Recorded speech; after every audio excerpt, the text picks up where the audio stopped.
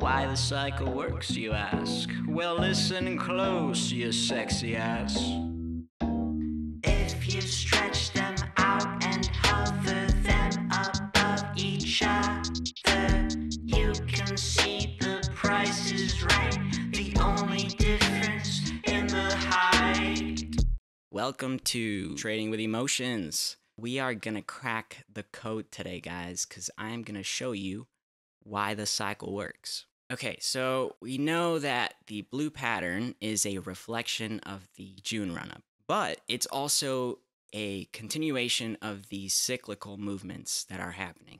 So its structure is attractive when comparing it to other patterns because they're because they're laid out almost identical. But there's actually more to this cycle. So I'm going to be talking about more patterns that are found that could uh, sort of, uh, you know, make everything here makes a little bit more sense to you. When I do make these songs, they're typically a, yeah, little teasers to a more in-depth explanation that I'll later be posting, which uh, this is this is one of them. So, yeah, I'm going to be using a projector analogy that I have. So I don't expect you guys to be familiar with this, but if you know how a projector works, there is certain components in a projector that will eventually project a big screen.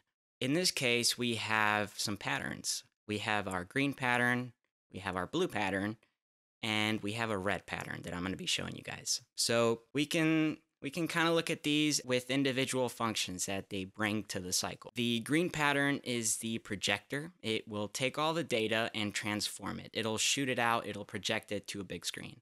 If we understand each function and their mechanics, we can come up with a new perspective to understand how AMC is being manipulated through this cycle. For a projector to work, we need a light source.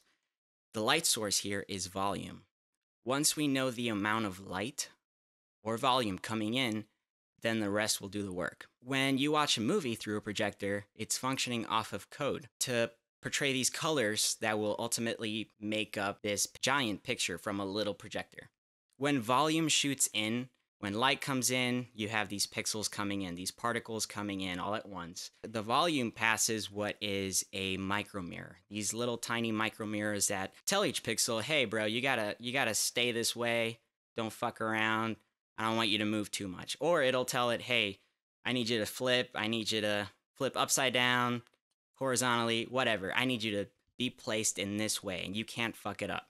Once they have their form and they're passing through these micro mirrors go through a color wheel. So, in, in this analogy, the projector would be projecting these patterns that are passing through a color wheel. Color wheel will be spinning so fast that these patterns are basically being blended together to create what is one pattern.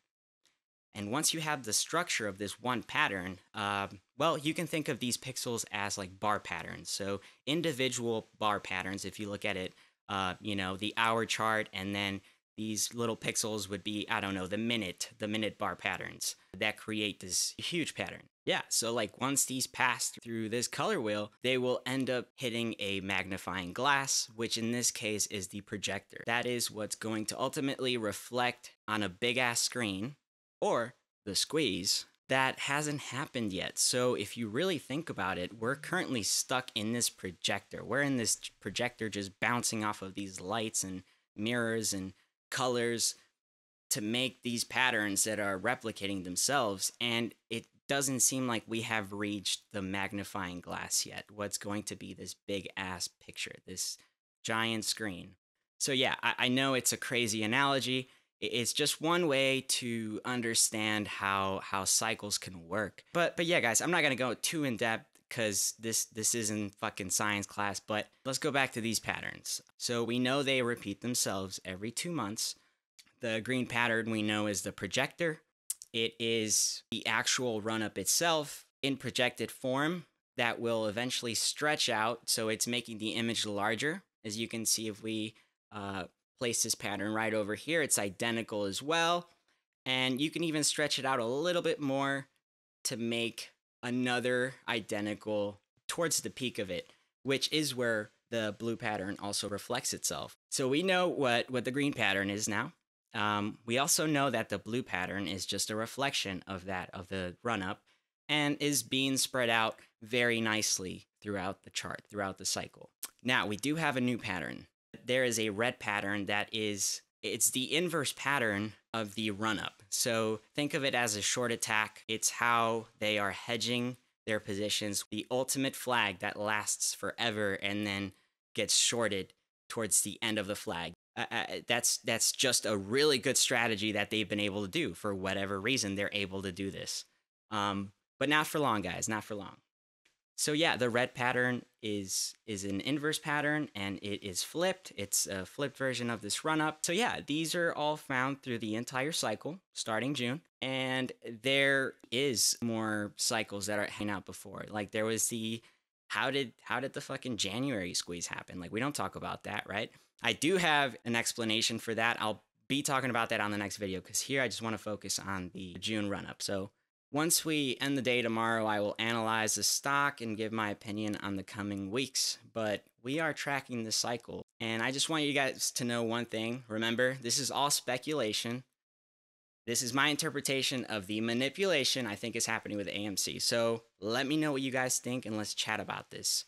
Um, remember, this is not financial advice, so don't take anything super, super literal. Um, be fucking careful out there, guys. And thank you for watching. Fucking love you, man.